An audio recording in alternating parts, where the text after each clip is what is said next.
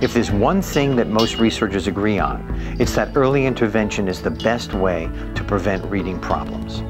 Reading experts like to catch kids at three or four, when language problems often emerge. But what if you could start even earlier? Santana Hamond's not quite ready to start reading. He's only one day old, but doctors Dennis and Victoria Molfese believe they can look into his future. We're interested in studying speech perception in infants because we think there is a link even at the very earliest stages, shortly after birth, within hours of birth, and later reading skills. That's because one skill that children must have in order to read is already in place by the time the baby is born. The Molfeses are assessing the ability of a one day old baby to discriminate between the sounds for the letter B and the letter P. We don't know why, but some babies are born with a lesser ability to hear the difference between similar sounds, or they hear the difference more slowly. And we know from Jenna that this seemingly small skill is enormously important. Perfect. Santana's first stop is a hearing test, which he passes.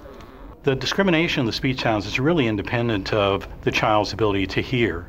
Rather, the problem is their ability to not just hear, but then to discriminate between the different sounds. Researchers will test that ability in Santana with this net. Now, it might look intimidating, but Santana hardly notices the soft sensors.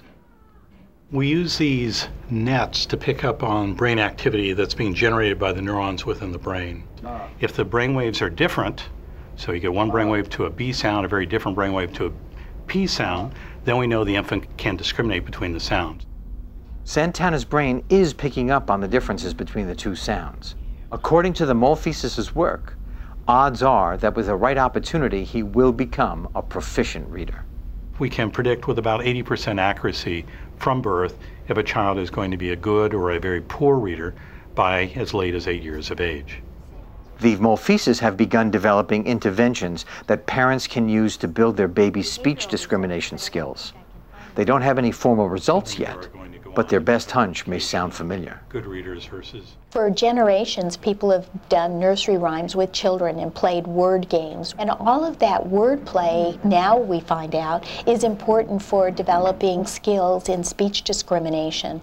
Children that may be at risk for reading disabilities, who may be not as good at hearing contrast between different speech sounds, need extra experience with those kinds of games. This speech sound discrimination screen is not available to the public right now, but the Molfeses hope that will change. It'd be very simple to screen these children for risk of developing a learning disability and then start intervening before the child has a chance to develop bad feelings about themselves that's going to interfere with them developing very proficient reading skills that they really need in our society today.